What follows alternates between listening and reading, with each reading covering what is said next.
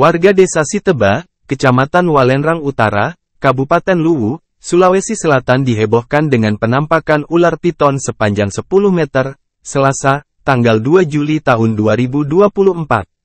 Pasalnya, ular dengan nama latin Pitonide itu telah memangsa Siriati, 30, seorang ibu rumah tangga asal Dusun Balatana, Desa Siteba, Walenrang Utara. Sekretaris Desa Siteba, Iyang, 38, mengaku, Siriati dimangsa ular piton di perjalanan menuju rumah saudaranya sekitar pukul 7.30 Wita. Rencananya, Siriati akan diantar saudaranya membelikan obat untuk anaknya. Korban mau keluar belikan anaknya obat. Dia ditunggu saudaranya, kan jauh dari jalan poros si teba rumahnya ini, korban.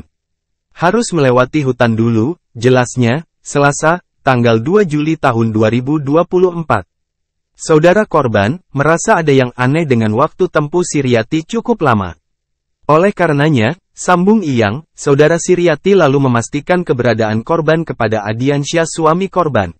Setelah saudaranya menunggu sekian lama, tapi korban tidak datang juga. Makanya saudaranya ini menelepon ke suaminya, dia bilang suaminya dari tadi pergi itu, bebernya. Karena khawatir, Adiansyah lalu memutuskan menyusul korban. Namun di perjalanan, Adiansyah hanya mendapatkan sendal milik korban tergeletak di jalan. Jadi suaminya pergi mencari istrinya, dia dapat sendalnya. Dia curiga ini dimakan ular. Karena di situ ada jejaknya. Kurang lebih ular ini menyeret korban itu sejauh 5 meter dari lokasi, ujar Ian kepada tribunluwu.com. Ian menambahkan, ular piton yang sempat kabur sejauh 5 km ke semak-semak terpaksa dibunuh suami korban. Setelahnya, Suami korban baru memanggil warga untuk membantu sama-sama mengeluarkan jenazah Siriarti dari dalam perut ular itu, katanya. Setelah dibantu warga, jasad mendiang Siriati akhirnya berhasil dikeluarkan.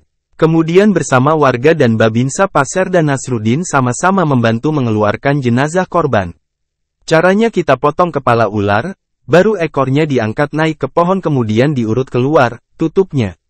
Sebelumnya, Ular piton sepanjang 10 meter memangsa Siriati, 30, warga Dusun Balatana, Desa Siteba, Kecamatan Walenrang Utara, Kabupaten Luwu, Sulawesi Selatan, ular dengan nama latin Pitonide diduga menerkam Siriati saat melintas di hutan ketika hendak pergi ke rumah saudaranya, Selasa, tanggal 2 Juni tahun 2024, sekitar pukul 7.30 Wita pagi.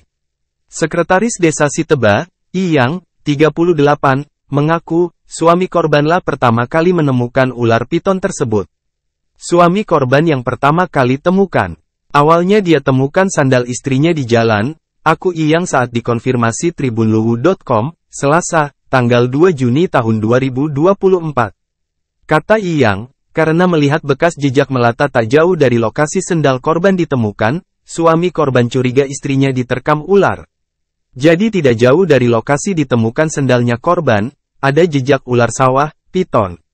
Suami korban langsung curiga kalau istrinya dimakan ular, bebernya. Menurut Iyang, ular piton itu sempat kabur ke semak belukar sejauh 5 meter sebelum akhirnya terpaksa dibunuh. Kemudian suaminya ikuti jejaknya, dan ditemukan kondisi perut ular sudah membesar. Suami korban langsung membunuh ular tersebut kemudian memanggil warga, ujarnya.